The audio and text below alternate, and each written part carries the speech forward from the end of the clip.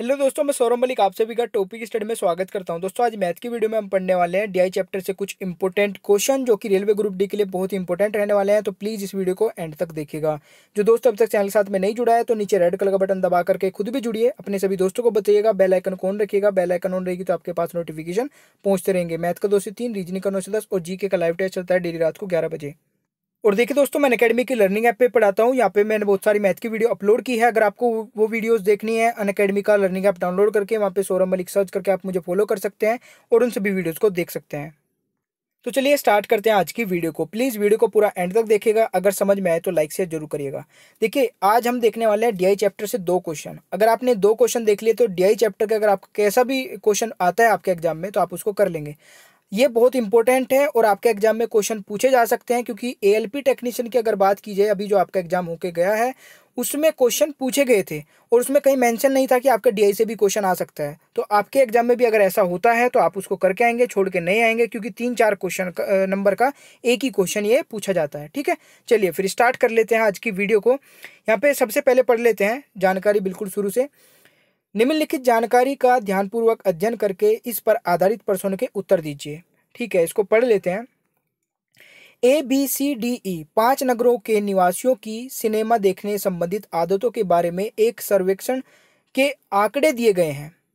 उनमें पहले स्तंभ में प्रत्येक नगर के उन दर्शकों के प्रतिशतों को दर्शाया गया है, जो प्रति सप्ताह दो से कम फ़िल्में देखते हैं, ठीक है?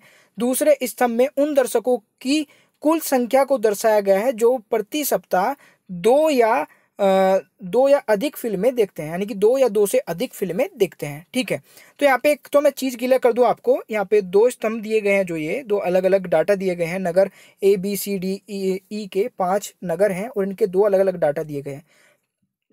जो आपका पहला डाटा है, ये परसेंटेज में है और ये आपका नंबर्स में है, ठीक है? ये परसेंटेज है सारी की सारी, यानी कि इस नगर में, ए नगर में साठ परसेंट ऐसे व्यक्ति हैं, ऐसे रहने वाले जो नागरिक हैं, जो दो मूवी से, दो फ़िल्म से कम देखते हैं और चौबीस सौ ऐसे हैं जो दो और दो से अधिक देखते हैं। तो अब आपको ये चीज़ें क्लियर हो गई होगी, ये परसेंटेज में दे रखा है और ये आपको दे रखा है नंबर्स में। अब इसी से रिलेटेड आपके कैसे कैसे क्वेश्चन पूछे जाएँगे, वो आप इजिली कर लेंगे, मैं आपको बता देता हूँ। जैसे पहला क्वेश्चन यहाँ पे दिया गया है, नगर सी में कितने दर्शक ऐसे हैं जो प्रति सप्ताह दो से कम फ़िल्में देखते हैं?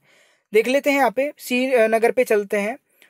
सी नगर आपका ये है और यहाँ पे दिया गया है कि पूछा गया है कि ऐसे कितने व्यक्ति हैं जो दो फ़िल्म से कम देखते हैं? तो ऐसे 85 परसेंट, परसेंटेज में कितने एट्टी फाइव है, एट्टी फाइव परसेंट। और ऐसे कितने हैं जो दो और दो से अधिक देखते हैं? वो है आपके चौबीस। सौ अगर आप परसेंटेज में देखो तो चौबीस सौ कितना होगा? पंद्रह परसेंट के इक्वल होगा, क्योंकि एट्टी फाइव परसेंट आपके कितने हो गए, जो दो मूवी से कम देखते हैं, और तो बचे हुए पंद्रह कितने होंगे, वो दो या दो से अधिक देखते होंगे। तो इसका मतलब आपको पंद्रह परसेंट की वैल्यू मिल गई। पंद्रह परसेंट के इक्वल अगर चौबीस सौ है तो एट्टी फाइव परसेंट के आप निकाल ही सकते हैं। तो चलिए, कैसे निकालते हैं? बहुत ही आसान है। पंद्रह परसेंट के इक्वल आपको चौबीस सौ है तो एट्टी फाइव की परसेंट की आपको वैल्यू निकालनी है। तो चौबीस सौ को आप पंद्रह से डिवाइड कर दीजिए और एट्टी फाइव से मल्टीप्लाई कर दीजिए। तो चौबीस सौ को आप पंद्रह से डिवाइड करें, कितना जाएगा? एक सौ साठ बार, एक सौ साठ की मल्टीप्लाई पिचासी में करेंगे तो तेरह हज़ार छः सौ आपका राइट आंसर आ जाएगा। यानी कि इतने व्यक्ति तेरह हज़ार छः सौ जो व्यक्ति हैं, वो दो से, दो मूवी से कम देखते हैं, दो फ़िल्म से कम देखते हैं। ठीक है तो राइट आंसर क्या हो जाएगा? तेरह हज़ार छः सौ। यानी कि आपका option B is the right answer ठीक है? तो आशा करता हूँ कि ये क्वेश्चन तो आपको समझ में आ गया होगा। इस टाइप के अगर क्वेश्चन आपके एग्ज़ाम में आएँगे तो आप इजीली कर लेंगे, ठीक है? बट एक बार आपको पता होना चाहिए कि इस तरीके का क्वेश्चन आए तो उसको कैसे करना है, क्योंकि एकदम से आपको एग्ज़ाम में दिखेगा तो वो बहुत हार्ड लगता है, ठीक है ना? तो इसलिए मैं आपको हर एक टाइप के क्वेश्चन कवर कराने की कोशिश कर रहा हूँ। क्वेश्चन नंबर टू बोल रहा है यहाँ पे, वह नगर कौन सा है जहाँ फ़िल्में देखने वालों की संख्या सबसे कम है? तो देख लेते हैं टेबल पे चलते हैं। तो यहाँ पे बिल्कुल साफ़ नज़र आ रहा है कि बी वाला जो है ये आपका बीस परसेंट यहाँ पे ये है कि जो दो से कम फ़िल्में देखते हैं और तीन हज़ार टोटल आपके ये हैं, जो बचे हुए हैं, यानी कि अस्सी परसेंट लोग दो से अधिक फ़िल्म देखते हैं। तो इसका मतलब दोनों के दोनों ही आपके कम हैं तो इसका मतलब बी वाला जो नगर है, उसमें सबसे कम फ़िल्में देखी जाती है। तो आपका राइट आंसर क्या हो जाएगा? ऑप्शन यानी कि सी हो जाएगा राइट आंसर यानी कि नगर बी आशा करता हूँ कि ये भी आपको समझ में आ गया होगा। ठीक है, चलिए क्वेश्चन नंबर थ्री पे एक बार ट्राई करके देखिए खुद भी। तो क्वेश्चन नंबर थ्री यहाँ पे बोला जा रहा है थ्री में, सर्वेक्षण में शामिल किसी भी नगर में फ़िल्में देखने वालों की सबसे अधिक संख्या कितनी है? तो ये भी हम देख लेते हैं टेबल में देख करके। तो दोस्तों, टेबल में बिल्कुल साफ़ नज़र आ रहा है कि आपका ये वाला जो नगर है, यानी कि नगर ई इसमें सबसे अधिक फ़िल्में देखने, देखे जाने वाला है। यहाँ पे जो देखने वाले हैं, वो एट थाउज़ेंड है और बाकी में देखिए आप सबसे कम कम है, ठीक है? इधर भी देखें तो सेवेंटी फाइव परसेंट है तो दोनों साइड में ही ये पोर्शन सबसे ज़्यादा कवर कर रहा है। तो यहाँ पे हम निकाल सकते हैं कि टोटल देखने वाले कितने हैं, ठीक है? तो यहाँ पे ये किसके इक्वल ये है ये है आपकी पच्चीस परसेंट की, क्योंकि पिछहत्तर परसेंट वो वो व्यक्ति हो गए जो दो से कम फ़िल्म देखते हैं। तो बचे हुए पच्चीस परसेंट की वैल्यू आपकी ये हो जाएगी आठ हज़ार तो यहाँ से आप इजीली वैल्यू निकाल सकते हैं। तो यहाँ पे आपको 25 परसेंट की वैल्यू 8000 मिल गई तो 100 परसेंट की क्या होगी? हमें टोटल बताना है ना तो 8000 को आप 25 से भाग कर दीजिए और 100 से गुना कर दीजिए, कितना हो जाएगा? बत्तीस हज़ार, यही आपका राइट आंसर हो जाएगा। तो ऐसा करता हूँ कि आपको ये क्वेश्चन बिल्कुल भी हार्ड नहीं लग रहे होंगे, और इस तरीके के अगर क्वेश्चन आपके एग्ज़ाम में आते हैं तो आप डेफिनेटली उनको करके आएँगे, ठीक है? तो राइट आंसर क्या हो जाएगा? देख लेते हैं option option B is the right answer ठीक है? चलिए नेक्स्ट और लास्ट वाला क्वेश्चन देखते हैं इस फ़र्स्ट क्वेश्चन में लास्ट वाला क्वेश्चन है ये।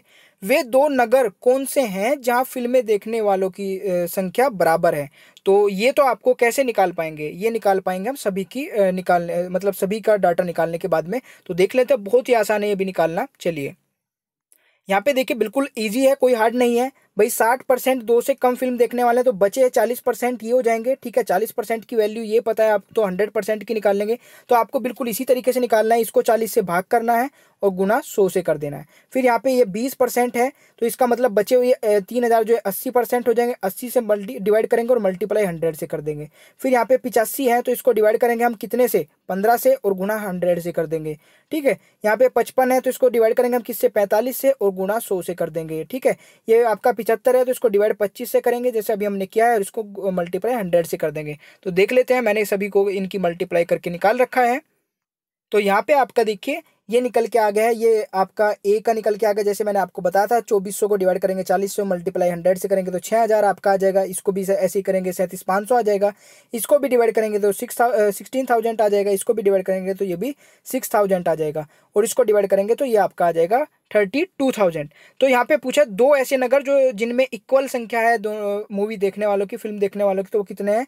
ये दोनों हो जाएँगे। इसमें भी सिक्स थाउज़ेंड इसमें भी यानी कि आपका ए और डी ए और D is the right answer तो देख लेते हैं किस ऑप्शन में ये लाइक करता है। यानी कि आपका ऑप्शन हो जाएगा डी यानी कि डी ए यानी कि ए और डी कोई सा भी बोल सकते हैं आप तो राइट आंसर आपका हो जाएगा डी ऐसा करता हूँ कि ये पहला क्वेश्चन जो था, आपको समझ में आ गया होगा। जितना टाइम मुझे लगा है, क्योंकि एक तो स्क्रीन को ऊपर नीचे करना पड़ता था, पूरी स्क्रीन में ये सब कुछ एडजस्ट नहीं हो सकता, पहली बात। दूसरी बात, मुझे साथ साथ में समझाना भी पड़ रहा है, ठीक है? तो इतना टाइम नहीं लगेगा, और ये सीधा सीधा आपका तीन चार मार्क्स का एक ही क्वेश्चन आता है तो इसको छोड़ के मत आइएगा। अगर इसमें थोड़ा टाइम भी लग रहा है तो आप सोच के देखिए कि इसमें तीन चार नंबर आपको सीधे सीधे मिल जाते हैं, ठीक है? तो आशा करता हूँ कि आपको समझ में आया होगा। एक और इसी तरीके का क्वेश्चन देखते हैं, अलग टाइप का। तो नेक्स्ट आपका क्वेश्चन है, इसको भी पढ़ के देखते हैं। यह वर्त रेखा किसी कंपनी द्वारा सात वर्षों में अर्जित लाभ दर्शाता है। वर्त रेखा का ध्यानपूर्वक अध्ययन करें और निम्नलिखित प्रश्नों के उत्तर दीजिए। तो यहाँ पे एक वर्त आपको जो दे रखा है, ये गोला जो आपको दे रखा है सर्किल दे रखा है, इसमें आपको अलग अलग ईयर के, देखिए कब से स्टार्ट है, ये आप साइड में देख सकते हैं नाइन्टी वन से लेकर के, और आपका नाइन्टी सेवन तक दे रखा है, ठीक है? तो नाइन्टी वन देखिए, जैसे यहाँ पे दे रखा है नाइन्टी वन में आपका 42 डिग्री प्रॉफिट था। ये डिग्री में दे रखे वैल्यू तो इसमें कोई भी कंफ्यूज नहीं होना है कि ये डिग्री में कैसे प्रॉफिट हो सकता है। ये आपका जो दे रखा है, ये पूरा कितने का होगा? 360 डिग्री का। ठीक है? तो पूरा गोला आपका 360 डिग्री का होगा तो ये डिस्ट्रीब्यूट कर रखा है अलग अलग ईयर में अलग अलग डिग्री में। ठीक है? यानी कि इस पूरे गोले में नाइन्टी वन नाइनटीन में फोर्टी टू डिग्री प्रॉफिट रहा होगा नाइनटीन नाइन्टी टू में ट्वेंटी फोर डिग्री रहा होगा नाइनटीन नाइन्टी थ्री में भी फोर्टी टू डिग्री रहा होगा। तो इस तरीके से पूरे के पूरे दे रखा है नाइन्टी थ्री नाइन्टी फोर में आपका साठ डिग्री था, ठीक है नाइन्टी फाइव में फिफ्टी फोर था और नाइन्टी सेवन में सॉरी नाइन्टी सिक्स आपका इधर है तो नाइन्टी सिक्स में सबसे ज़्यादा था सेवेंटी टू डिग्री और आपका नाइन्टी सेवन में आपका सिक्सटी सिक्स डिग्री। तो आपने ये पूरी गोला पढ़ लिया और इसमें जितने भी डाटा दिए गए हैं वो भी आपने देख लिए। ठीक है, अब पढ़ते हैं क्वेश्चन के बारे में। ठीक है क्वेश्चन क्या दे रखा है? तो यहाँ पे पहला क्वेश्चन जो आपका दे रखा है, इसको पढ़ लेते हैं। यदि दिए गए सभी वर्षों में अर्जित लाभों के योगफल का एक्स परसेंट यानी कि सभी ईयर में जो लाभ हुए हैं, उसके योगफल, यानी कि उसका सम कर लीजिए और उसका परसेंटेज निकाले एक्स परसेंटेज निकाले तो वो 1994 में अर्जित लाभ के बराबर है। तो एक्स क्या होगा? तो यहाँ पे अगर मैं टोटल की बात करूँ तो सभी का सम तो सीधा सीधा है भाई, पूरे गोले की बात की जा रही है तो इसका मतलब 360 डिग्री का आपको एक्स निकालना है। समझ गए ना? मैं आपको दिखा देता हूँ। या तो आप इन सभी को ऐड कर लीजिए, इसको इसको इसको इन सभी को ऐड करिए, कितना आएगा? थ्री सिक्सटी डिग्री आएगा, ठीक है? या फिर आपको बिल्कुल सीधा सीधा पता है कि एक जो आपका ये गोला होता है सर्किल होता है, इसका जो पूरा वो होता है, कितना होता है? सिक्सटी, थ्री सिक्सटी डिग्री होता है। तो आपको थ्री सिक्सटी का अगर यहाँ पे निकाला जाए, कितना? एक्स परसेंट तो वो किस ईयर के बराबर है, ये देख लेते हैं नाइनटीन नाइनटी फोर तो नाइनटीन नाइनटी फोर में देख लीजिए कितना है नाइनटीन नाइनटी फोर में आपका सिक्सटी डिग्री दे रखा है, यानी कि मैं थ्री सिक्सटी डिग्री का एक्स परसेंट निकालू एक्स अपॉन हंड्रेड निकालू, वो किसके इक्वल आएगा? वो सिक्सटी डिग्री का आएगा। तो यहाँ पे आप एक्स की वैल्यू निकाल सकते हैं। बहुत ही ईजी है। देखिए कैसे? देखिए बहुत ही आसान है थ्री थ्री सिक्सटी डिग्री यानी कि टोटल सम बोला था ना कि सभी का सम निकाल के उसका एक्स परसेंट निकालना है। तो सभी का सम कितना होगा? थ्री सिक्सटी डिग्री इसका मैंने एक्स निकाला और अपॉन में हंड्रेड किया, यानी कि जब परसेंटेज निकालते तो डिवाइड करते हैं हंड्रेड से, ठीक है? तो ये कितना है? सिक्सटी आ गया सिक्सटी डिग्री नाइनटीन के बराबर कहा था ना? नाइनटीन के बराबर है तो नाइनटीन में आपका सिक्सटी डिग्री दे रखा था। तो बस बहुत ही सिंपल है। अब इनकी क्रॉस मल्टीप्लाई कर लीजिए। तो क्रॉस मल्टीप्लाई होगा कितना होगा? सिक्सटी इंटू हंड्रेड होगा, और ये एक्स को हम यहाँ पे रख लेंगे एक साइड में, और ये थ्री सिक्सटी से डिवाइड हो जाएगा तो एक्स की वैल्यू आपकी निकल के आ जाएगी सीधी सीधी तो ज़ीरो से ज़ीरो कट जाएगा, सिक्स से थर्टी सिक्स जाएगा सिक्स टाइम तो हंड्रेड को हम डिवाइड करेंगे सिक्स से तो कितनी बार जाएगा? देखिए, इसको आधा कर लीजिए, हम फिफ्टी हो जाएगा यहाँ पे, और इसको भी आधा करेंगे थ्री से, और थ्री से फिफ्टी को डिवाइड करेंगे तो sixteen complete two upon three is the right answer तो एक्स की वैल्यू आपकी क्या आ गई? Sixteen complete two upon three तो देख लीजिए ऑप्शन कौन सा होगा? यानी कि option D is the right answer तो आशा करता हूँ कि आपको ये अच्छे से समझ में आ गया होगा क्वेश्चन। बिल्कुल भी कोई हार्ड नहीं था, ठीक है? चलिए नेक्स्ट क्वेश्चन पे चलते हैं। क्वेश्चन नंबर टू में क्या बोला गया यदि वर्ष उन्नीस में आए, उसी वर्ष के उस, उसी वर्ष किए गए व्यय, यानी कि एक्सपेंडिचर का पाँच गुना थी, यानी कि जितना एक्सपेंडिचर किया गया था, ये उन्नीस सौ सत्तानवे में आए जो इनकम हुई वो पाँच गुना थी तो वर्ष उन्नीस सौ इक्यानवे में अर्जित लाभ का वर्ष उन्नीस सौ सत्तानवे से उन्नीस सौ सत्तानवे में व्यय के साथ अनुपात था। ये आपको अनुपात बताना है। क्वेश्चन को दोबारा से रिपीट कर देता हूँ, अच्छे से समझ में आ जाएगा। यदि वर्ष उन्नीस सतानवे में आय उसी वर्ष किए गए व्यय का पाँच गुना थी। यानी कि उन्नीस सौ सत्तानवे में जितना व्यय किया गया था, व्यय मीन्स होता है एक्सपेंडिचर किया गया था, खर्चा किया गया था, उसी व्यय के पाँच गुना आपकी आय हो गई उन्नीस सौ सत्तानवे में। ठीक है? सीधी सीधी सी बात है। यहाँ पे बोला गया तो वर्ष उन्नीस सौ इक्यानवे में अर्जित लाभ का वर्ष उन्नीस में व्यय के साथ अनुपात क्या है? अनुपात आपको बताना है कब कब का? उन्नीस सौ सत्तानवे का तो आपको लेना है व्यय। उन्नीस सौ सत्तानवे का आपको एक्सपेंडिचर लेना है और उन्नीस सौ इक्यानवे में के नाइनटीन का आपको लाभ लेना है, ठीक है? तो देख लेते हैं, बहुत ही इजी क्वेश्चन बन जाएगा ये।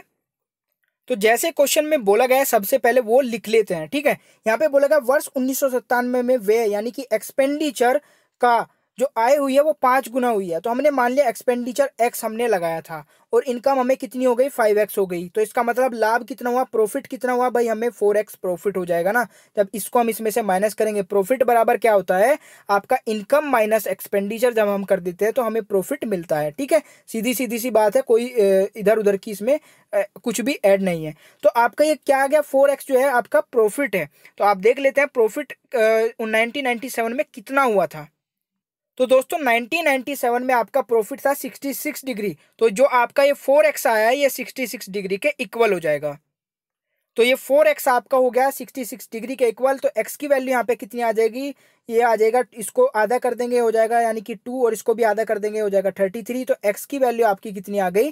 थर्टी थ्री अपॉन में टू ये आपका आ गया x की वैल्यू ठीक है? यानी कि एक्स की वैल्यू का मतलब हो गया व्यय। और यहाँ पे क्या पूछा गया? व्यय और 1991 के लाभ के बीच में रेशियो पूछा गया है। भाई, बिल्कुल भी कंफ्यूज मत होइएगा। एक एक वर्ड बिल्कुल क्लियर मैं करने की कोशिश कर रहा हूँ यहाँ पे आपको।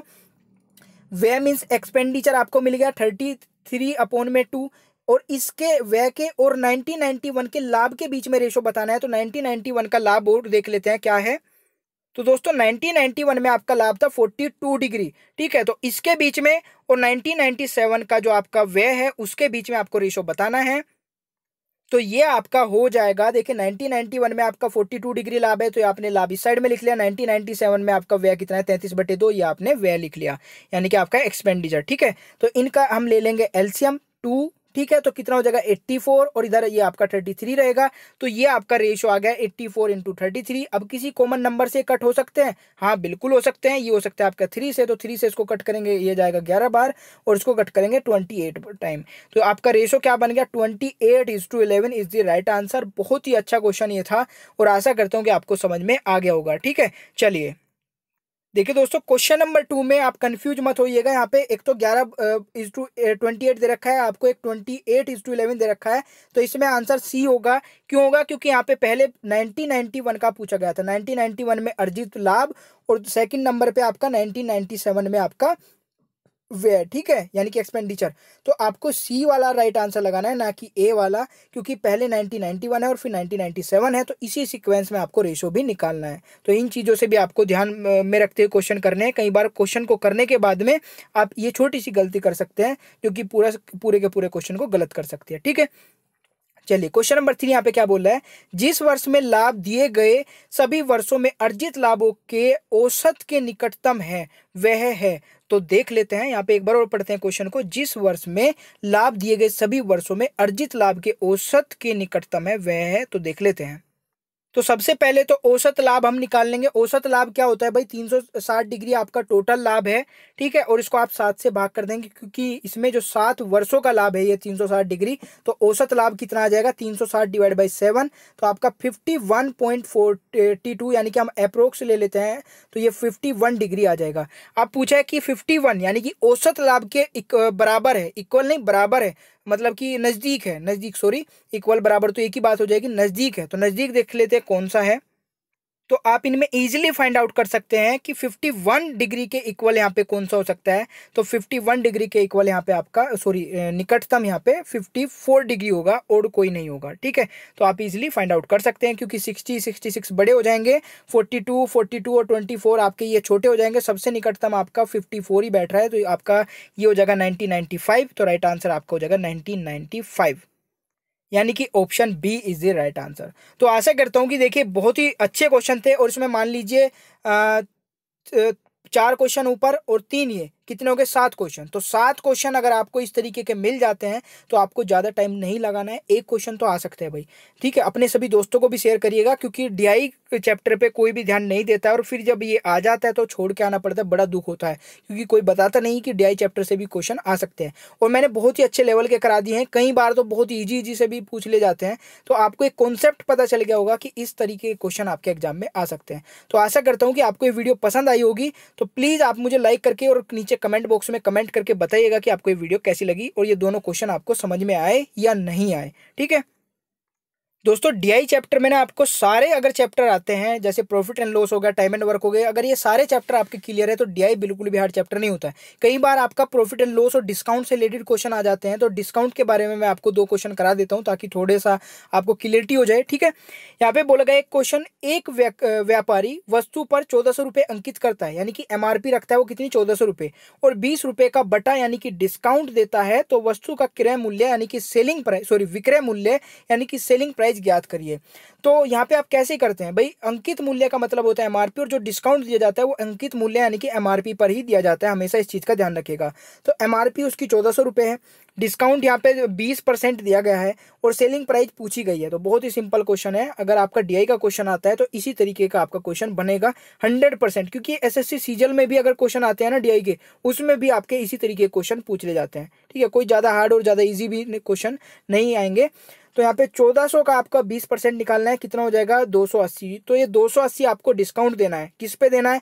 ये 1400 पे देना है। तो 1400 में से हम 280 माइनस करेंगे। तो जो अमाउंट आपकी बचेगी, वो आपकी सेलिंग प्राइस बच जाएगी। तो सेलिंग प्राइस कितनी आ गई? ग्यारह बीस, यही आपका राइट आंसर हो जाएगा। तो आशा करता हूँ कि आपको ये चीज़ क्लियर हुई होगी। ठीक है? चलिए, एक क्वेश्चन और देख लेते हैं और जल्दी से इसको आप एक बार खुद भी ट्राई करिए। अब देखिए, ये क्वेश्चन बहुत अच्छा है और इस तरीके का आपका डायरेक्ट क्वेश्चन भी आ सकता है। इसको देख लेते हैं। एक वस्तु का अंकित मूल्य पाँच सौ रुपये है, यानी कि एमआरपी आपकी पाँच सौ रुपये है। उस पर दस परसेंट की छूट देकर भी बीस परसेंट लाभ कमाता है। ठीक है? वस्तु कितने में खरीदी? अब ध्यान से सुनिएगा स्टेप वन इसमें हम रखते हैं। पाँच सौ रुपये पे दस परसेंट की छूट दीजिए, क्योंकि जो छूट दी जाती है वो एम आर पी पर दी जाती है, अंकित मूल्य पे दी जाती है और अंकित मूल्य इसमें पाँच सौ है। तो पाँच सौ का दस परसेंट निकाला आपने, कितना आ गया फिफ्टी। ये आपको ने छूट दी। और इस छूट देने के बाद भी बीस परसेंट लाभ कमाया जा रहा है। तो इसका मतलब क्या होगा कि ये पचास, आप पाँच सौ में से पचास माइनस करेंगे तो बचा कितना? चार सौ पचास। ये चार सौ पचास जो है, आपको देखिए स्टेप टू में यहाँ पे समझिएगा सीपी हमारी होती है हंड्रेड परसेंट। ठीक है, हमें हंड्रेड परसेंट की वैल्यू निकालनी है। बट ये जो चार सौ पचास लिखा है, अभी भी इसमें बीस परसेंट लाभ इंक्लूड है। ठीक है, इसमें जो 450 में प्रॉफिट इंक्लूड है, वो कितना 20 परसेंट? तो जो ये वैल्यू है, ये किसके इक्वल हो जाएगी? ये 120 परसेंट के इक्वल हो जाएगी। बट हमें क्या चाहिए? सीपी खरीदी कितने में थी? सीपी हमें निकालनी है। सीपी हमारा होता है कोस्ट प्राइस होती है हमारी क्रैब मूल्य हमारा जो होता है, वो हंड्रेड के इक्वल होता है।